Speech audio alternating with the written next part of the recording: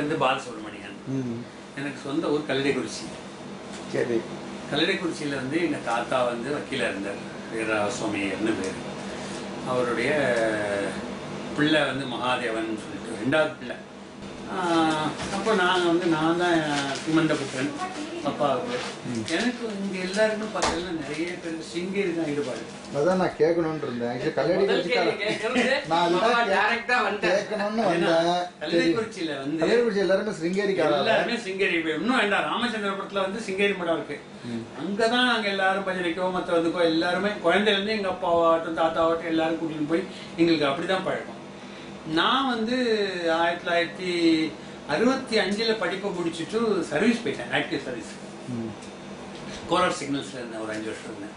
எழுபதுல வந்தேன். வந்து அப்பெல்லாம் வந்து பல்லவன் பாண்டியன் டிரான்ஸ்போர்ட் கார்பரேஷன்லாம் கிடையாது. டிஎஸ்டி இருந்தது தமிழ்நாடு ஸ்டேட் டிரான்ஸ்போர்ட் டிபார்ட்மெண்ட் அதில் வந்து அக்கௌண்ட்ஸில் இருந்தேன். ஒரு த்ரீ ஃபோர் இயர்ஸ் இருக்கிற போதே எனக்கு ரிசர்வ் பேங்க்ல I got selected so immediately I got into the bank so அங்கே போனதுக்கு So Reserve Bank entry is only in 70s, seventy three 73. Okay. So அதுக்கப்புறம் தான் நான் வந்து ரிசர்வ் பேங்க் ஜாயின் பண்ணேன். அதுக்கு முன்னாடி படிச்சதெல்லாம் மதுரை. இந்த டியூரிங் இந்தியா எஜுகேஷன்லாம் சிக்ஸ்டி ஃபைவ்லலாம் மதுரையில் தான் இருக்கேன். ஓஹோ. அந்த டயத்துலலாம் ஸோ அது முடிச்சுட்டு அதுக்கப்புறம் வந்து சென்னை வந்ததுக்கு அப்புறமே எனக்கு வந்து கொஞ்சம் இந்த ஆன்மீக ஈடுபாடுகள் வந்து பொதுவாகவே கொஞ்சம் உண்டு. அதில் அதுலேயும் வந்து அங்கே வந்து இங்க நதியில ஸ்நானம் பண்ணி பண்ணி பண்ணி ஆமா சின்ன வயசுல- திருநெல்வேலிக்காரர்களுக்கெல்லாம் தாமிரபரணி அதான சொல்லிட்டு வந்தேன் இன்னைக்கு. விபூதி இட்டுக்காம இருந்ததே கிடையாது. அந்த மாதிரி பழகிட்டதுல அங்க போய் இந்த பக்கெட்ல மொண்டு குளிக்கிறது இந்த மக்கால மொண்டு விட்டுக்கிறது எல்லாமே கொஞ்சம் பெக்குவலியராகவே ஃபீல் பண்ண ஆரம்பிச்சு கொஞ்சம் அன்ஈசினஸ் இருந்தது இல்ல. அப்போ நான் இப்படியே நினைச்சுட்டே இருப்பேன் என்னடா அது இப்படி வந்து மாட்டிட்டோமே இங்க அப்படின்னு. ஆனாலும் வேற வழி இல்லாம சர்வீஸ் காரணம் வச்சுட்டு பேசாம அப்படியே இருந்தேன். அதுக்கப்புறம் கல்யாணம் ஆச்சு என் தங்கைகளுக்கெல்லாம் கல்யாணம் பண்ணி கொடுத்தேன். எங்க அப்பா அதுக்கு வெளில நடுவில் ஆசிரியர். ஸோ எனக்கு மூணு தங்கைகள். மூணு பேருக்கு நான் தான் கல்யாணம் பண்ணி கொடுத்தேன். நல்லபடியா நான் பண்ணி கொடுத்தேங்கிறத விட நான் கருவியா இருந்தேன். அப்படி இருக்கிற போது எனக்கு வந்து காஞ்சி இதுல வந்து எனக்கு கல்யாணம் ஆகி எனக்கு குழந்தை பிறந்தது இல்லையா? அப்போ வந்து ஒரு தடவை திருவனந்தபுரத்துக்கு ஆபீஸ் வேலையா போயிருந்தேன். ம். போயிருந்தப்போ அங்க வந்து காஞ்சி பெரியவா மகா பெரியவா வந்து கரமணிக்கு வந்திருந்தா பெரியவா அந்த பக்கம் இங்க வந்திருக்காளா? வந்திருக்கா Are you sure it's only Yes. அப்புறம் அவரை ஹரித்வார்லயே வச்சு பார்த்திருக்கேன். ஹரித்வார்லயா? ஆமா. ஜெயா அவளை அவளை இன்னும் கரெக்டா சொல்லி. ஜெயந்தர் சரஸ்வதி சுவாமிகள் தான் ஹரித்வார். ஹரித்வாருக்கு மகாபெரிவா வரவே இல்லை. அப்போ திருவனந்தபுரம் கரமணியா இருக்கும். It is only Jayendra Saraswathi Swamigal went Haridwar. அவர் பெரியவா போலியா? மகாபெரிவா ஹரித்வாருக்கு போனதே கிடையாது. அப்படியா? அப்போ நான் அப்ப இவரை கரமனையில பார்த்திருப்பேன் நினைக்கிறேன். ஏன்னா கரமனையில ஃபர்ஸ்ட் ஃபர்ஸ்ட் நான் அவரை பார்த்தது வந்து கேரளாவுக்கு போயிருக்கா பெரியவா கேரளால கரமனையில வச்சு பார்த்திருக்கேன். கரமனையில ஒரு சங்கரமடம் இருக்கு இல்லையா? தெரியல எதுல வச்சு பார்த்தேன்னு கரெக்டா ஞாபகம் இல்லை. ஆனா அவன் நான் கரெக்டா சொல்லுவேன். அவளுக்கு நல்ல ஞாபக சக்தி. என்னை விட பெட்டரா ரிமெம்பரன்ஸ் இருக்கும். அவ சொல்லிடுவா அப்புறம் அதுக்கப்புறம் வந்து எனக்கு வந்து அவர் பார்த்ததுல இருந்தே எனக்கு ஒரு ஈடுபாடு. அது அப்போ வந்து எனக்கு ஒரு குழந்தை ஒரு பொன் குழந்தை முதல் பொன் குழந்தை. அவளுக்கு ஒரு வயசு இருக்கும். அவளுக்கு ஏதோ பழம் ஏதோ கொடுத்தாரு. ஃபர்ஸ்ட் டைம் மீட் பண்ணிட்டு போதே அந்த குழந்தைக்கு. அப்புறம் அதுக்கப்புறம் வந்து நான் காஞ்சிபுரம் மெட்ராஸ் வந்ததுக்கு அப்புறம் டியூட்டி முடிச்சுட்டு சென்னைக்கு வந்துட்டேன். சென்னைக்கு வந்ததுக்கு அப்புறம் ஃப்ரீக்வெண்டா விசிட் பண்ண ஆரம்பிச்சேன். ஒரு மாசத்துல ஒரு அட்லீஸ்ட் ஒரு பெரியவா மடத்துல இருந்தாலா தேனாம்பாக்கத்துல இருந்தாளா? தேனம்பாக்கத்துல சிவஸ்தானம் தேனாம்பாக்கத்துல தேனம்பாக்கத்துல சின்ன காஞ்சிபுரத்துக்கு பக்கத்துல. பக்கத்துல. அங்க போயிடுவேன். அங்க போய் ரூம் பார்த்துட்டு வருவேன். தனுர் மாசத்துல பூஜை நடக்கிறது பூஜை நடக்கிறதுனா பாலபெரிவா பூஜை பண்றான். அன்னைக்கு நான் வந்து என்ன பண்ணியிருக்கேன்? நான் அவருக்கு எப்போ போனாலுமே இந்த பூக்கடையில வந்து ஒரு பாய் இருக்கான். அவங்கிட்ட வந்து இந்த காபுல் மாதுளை கொடுப்பான். அதை வாங்கிட்டு போவேன். எப்போ போனாலுமே அவருக்கு ஒரு ரெண்டு மாதுளம் பழத்தை எடுத்துட்டு கண்டிப்பா போவேன். அப்புறம் யாரோ சொன்னான்னுட்டு ஒரு குளிச்சுட்டு நார்ல வாழ்நாள்ல. இந்த ட்ரை கிரேப்ஸ் இருக்கு பார்த்தீங்களா? அதை மாலையா கட்டி எடுத்துன்னு போவேன். எப்போ போனாலும் அவருக்கு கொண்டு போவேன். ஸ்ரீகாரம் பண்ணிப்பார். பண்ணிப்பார் ஒன்றும் பேச மாட்டார் அது வரைக்கும் என்கிட்ட பேசுனது கிடையாது. அந்த தனுர் மாசத்துல ஒரு கிழமை எனக்கு ஞாபகம் இல்லை. இதே மாதிரி போயிருக்கேன். அங்க போயிட்டு அந்த ஏகாம்பரேஸ்வரர் கோயில் கிட்ட ஒரு மடம் மாதிரி இருக்கு தெரியுமா அங்க? ஒரு ஓட்டு வீடு. அங்க தங்கிண்டு. காலம்பரை மூணு மணிக்கு எழுந்திருந்து ஸ்நானம் பண்ணிட்டு அந்த நார்ல கோத்துண்டு இந்த பழம்லாம் வாங்கிட்டு போயிருக்கேன் இல்லையா? கச்சம் தான் கட்டின்னு போவேன் அவர் பார்க்குற போது. கட்டிட்டு நேர மடத்துக்கு போயிட்டேன். போய் ஒரு பித்தளை தாம்பாளத்தை வச்சுட்டு நிக்கிறேன். ம். நான் ஒண்ணுமே சொல்ல பார பெரியவா பூஜை பண்ணிட்டு இருக்கா இவ உட்கார்ந்துட்டு இருக்கா? மகா பெரியவா.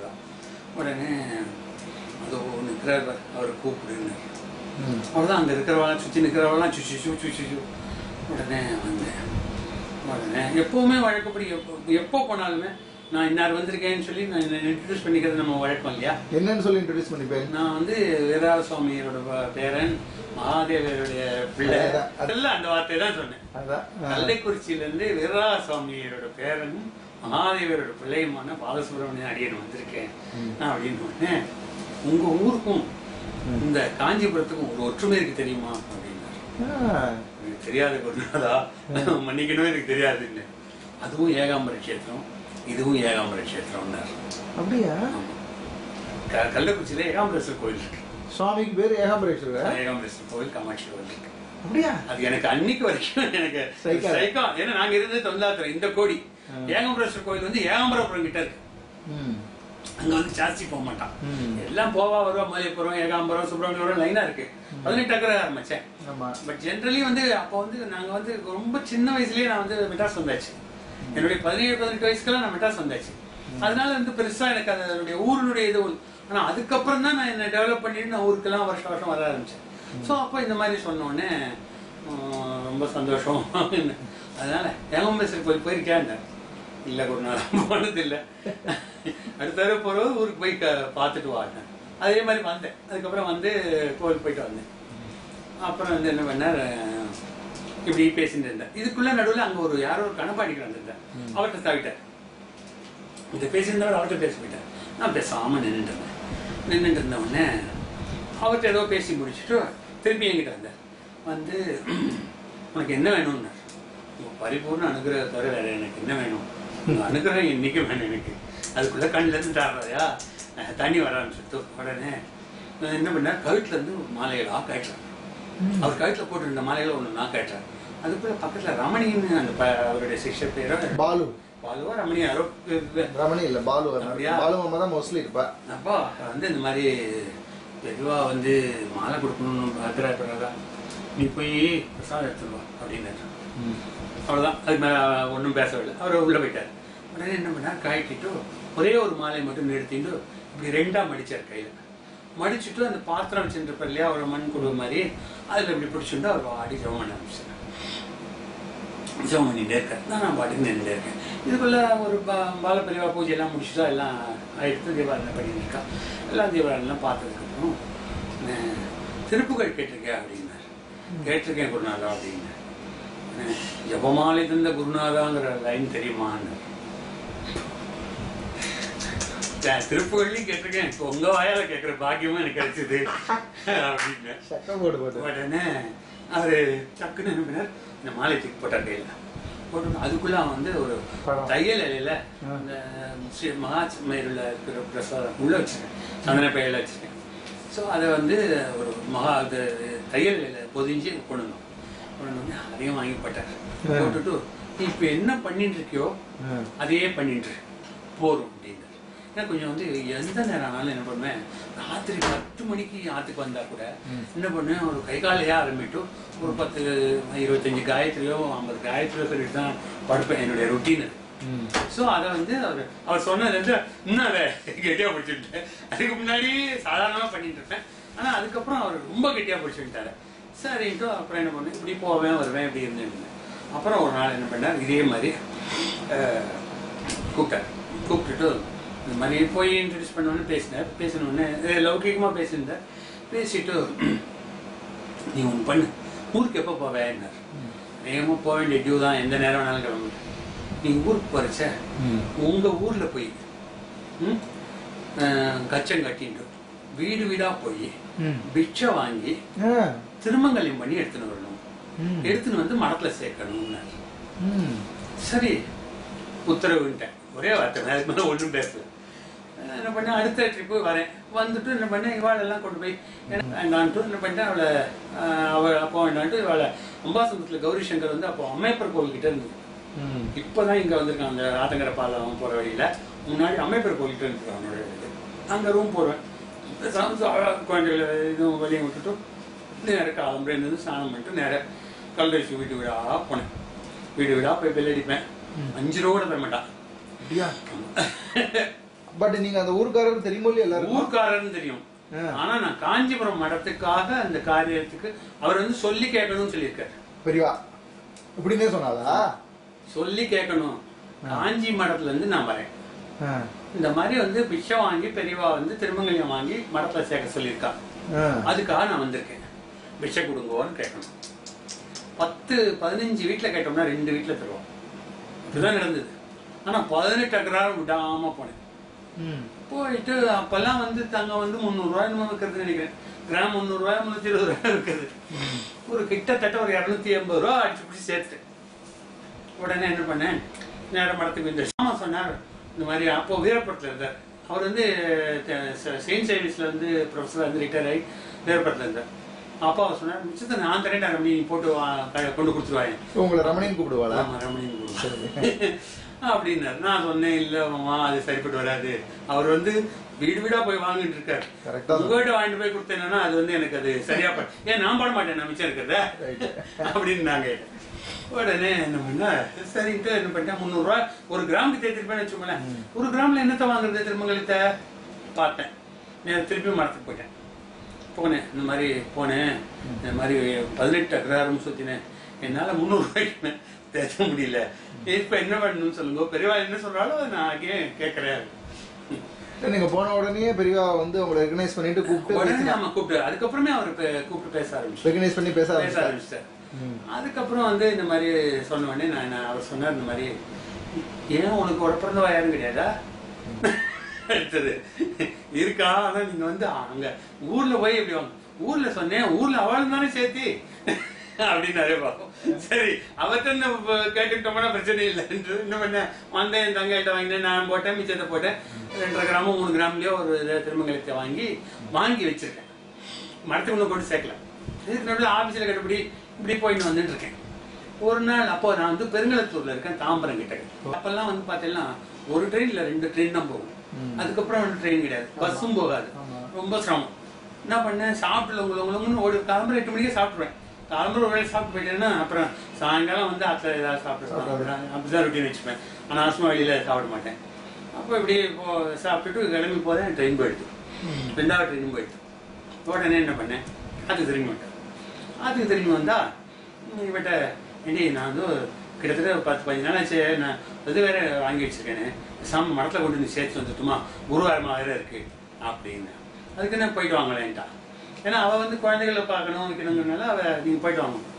அதுக்கப்புறம் தான் கிளம்புறேன். எட்டேம் கால் ஒன்பதுக்கு அப்புறம் தான் கிளம்புறேன். கிளம்புனா அப்போ எழுபத்தொம்பது ஏன்னு ஒரு பஸ் வரும். படப்ப வழியா? படப்பா வழியா. காஞ்சிபுரத்துக்கு போகிறதுக்கு அந்த பஸ் தான் பிடிப்பேன். ஸோ அது வந்து வண்டலூர் போய் அப்படி போயிடுவான் ஸோ அந்த வண்டலூர் அந்த பஸ்ஸில் ஏறி இங்கேருந்து காஞ்சிபுரத்துக்கு போகிறேன் போனால் அந்த பெரியவா மடமா இதுவா? இங்க மரத்தில் இருக்கா.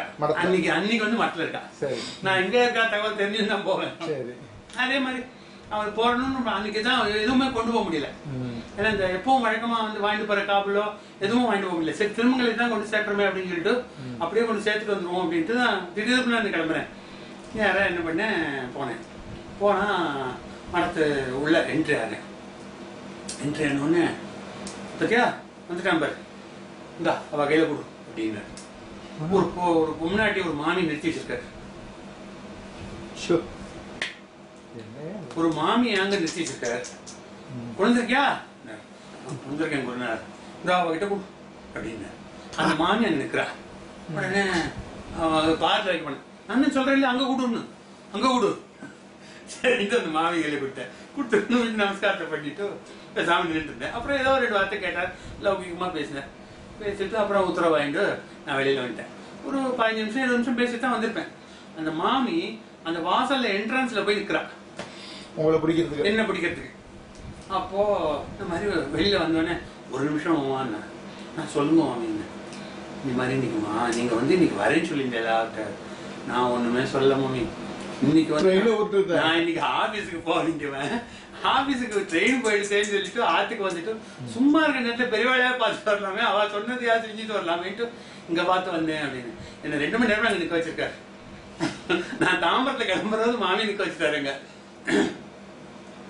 எனக்கு தூக்கி வாரி போட்டு.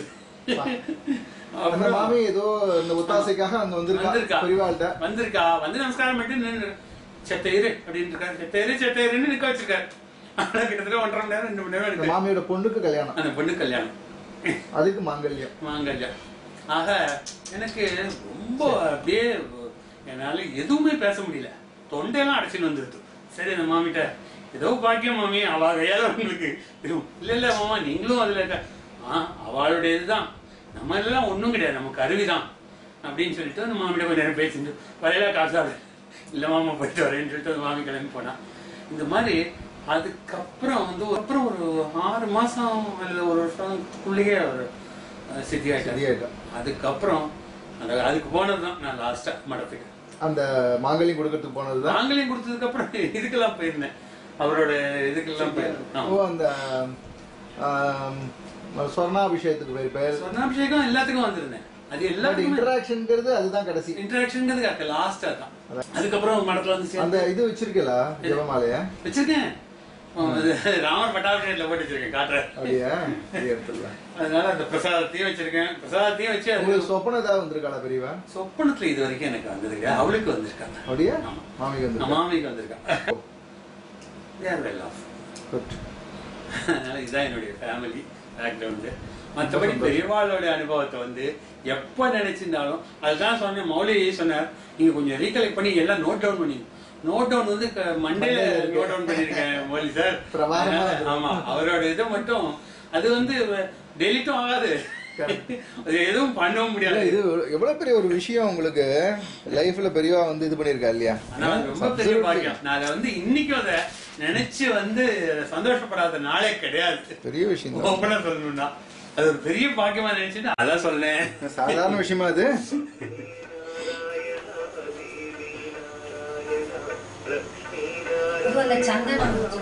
அந்த அந்த அந்த தானே வச்சிருக்கேன்.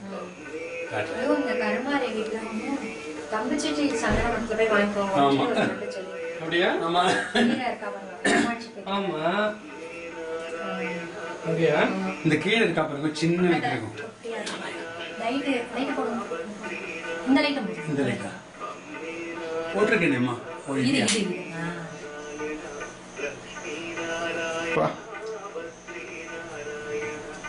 விஷயம் சார். ஜெயா இந்த கரமனையில நம்ம பார்த்தது மகாபெரிவா தானே? அப்ப அது குழந்தையா. கனகா குழந்தை இருந்தப்போ. ஆப்பிள் பழம் கொடுத்தாரு. மகாபெரிவா தானே அது? அப்ப ஹரித்வார்ல பார்த்தது. பெரியவாளா. என்ன அப்படி சொல்றா? இல்ல ஹரித்வாருக்கு பெரியவாளே போலே போனது இல்லையாமே அவரு?